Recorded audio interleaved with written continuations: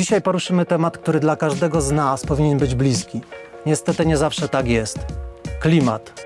Każdy z nas widzi skutki zmian klimatu. Jedną z najbardziej dotkliwych jego konsekwencji jest wzrost globalnej temperatury, a co za tym idzie, fale upałów, pożary czy coraz częściej nawiedzające nas powodzie. Tych skutków jest o wiele więcej i nie każdy niestety łączy je z zaniedbaniem naszej planety czy też naszego środowiska. Ode mnie dowiecie się dzisiaj, że jednym ze sposobów radzenia sobie z globalnym ociepleniem jest wykorzystywanie drewna jako naturalnego budulca. Dowiemy się też od leśników, w jaki sposób chronią lasy przed zmianami klimatycznymi.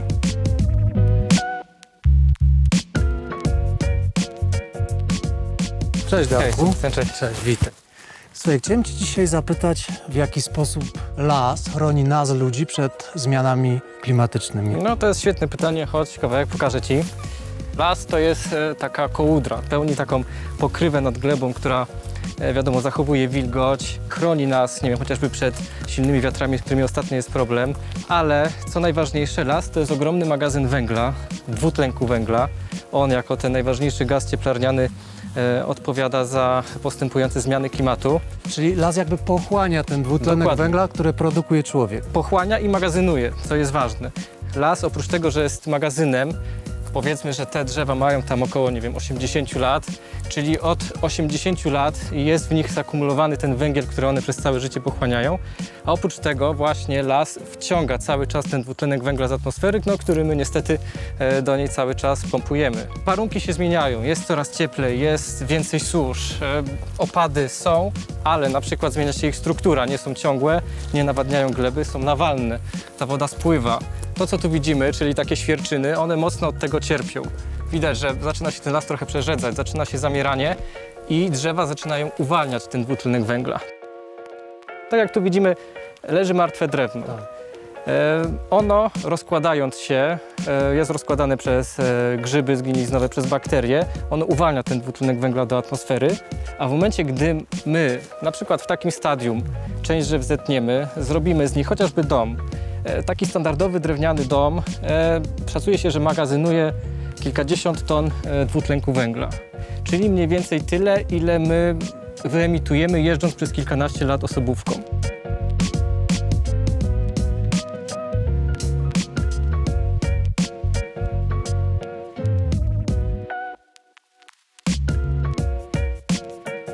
Powiedz proszę, w jaki sposób możemy chronić las przed y, zmianami klimatycznymi.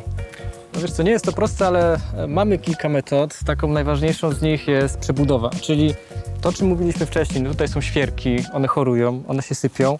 A co gdyby w tym przypadku był las, przykład bukowo, jodłowo, jaworowy?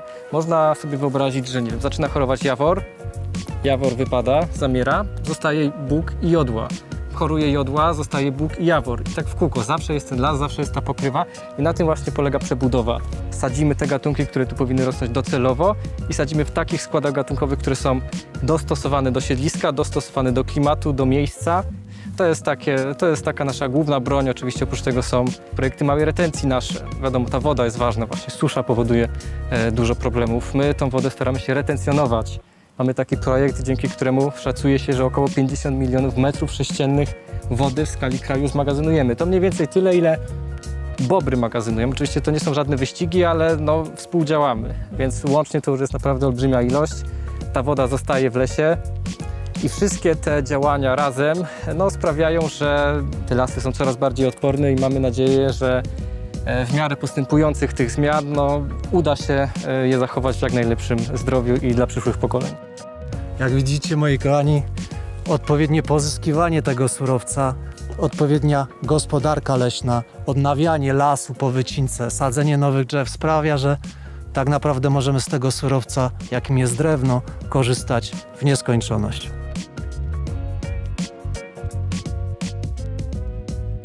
A ty jakie przedmioty z drewna masz w domu? Co robisz, by być bardziej eko? Podziel się z nami tymi informacjami w komentarzu poniżej.